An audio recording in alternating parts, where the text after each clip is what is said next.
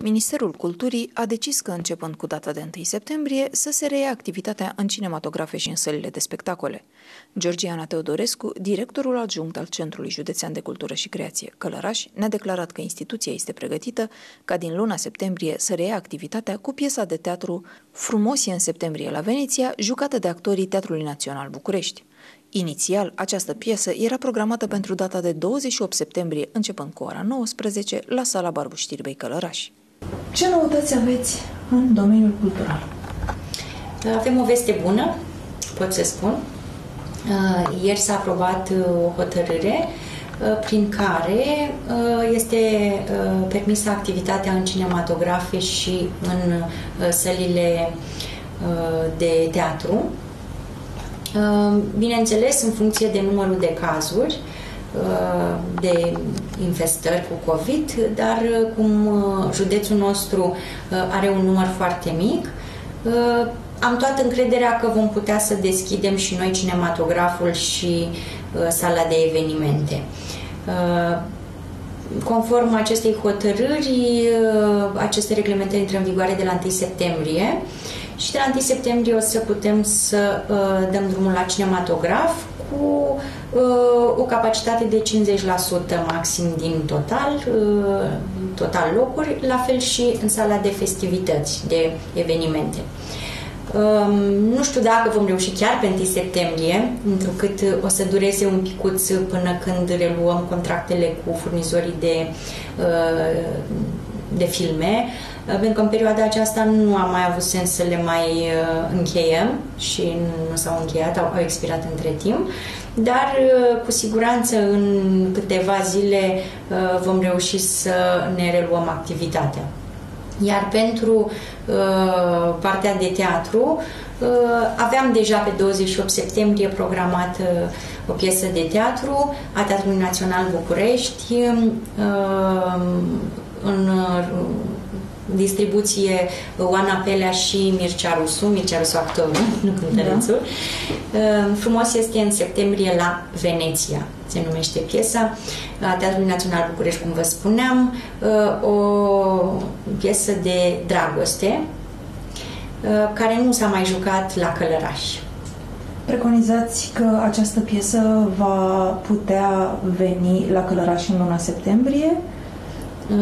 Așa ne dorim dar bineînțeles că depindem foarte mult de buget, pentru că, așa cum am mai spus și cu ocazia altor uh, interviuri, um, în această perioadă toți banii care au fost alocați um, pentru evenimentele noastre au fost redistribuiți de către Consiliul Județean către instituțiile care au avut nevoie um, datorită pandemiei, special pentru spital și uh, nu știu dacă nu și pe protecția copilului.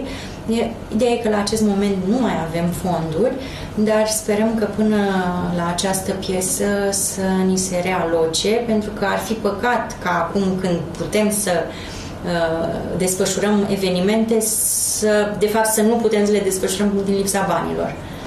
Ați spus că la cinematograf veți merge cu o capacitate de 50%.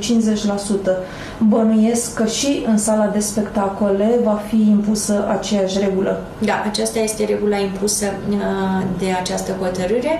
Uh, jumătate de capacitate, 50% în sala de spectacole, înseamnă undeva la 250 de persoane, iar la cinematograf 50 de persoane, pentru că avem capacitate de 100.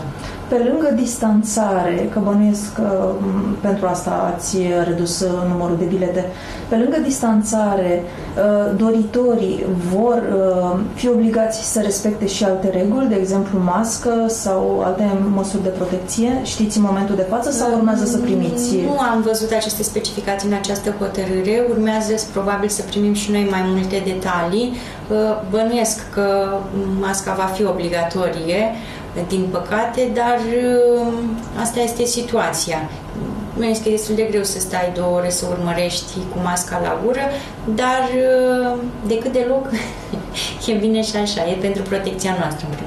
Să înțelegem că până la sfârșitul săptămânii viitoare, poate nu chiar pe data de întâi, dar probabil până la sfârșitul săptămânii viitoare, călărășenii uh, vor cunoaște primul film la care pot... Cu siguranță. Intra după o perioadă lungă de...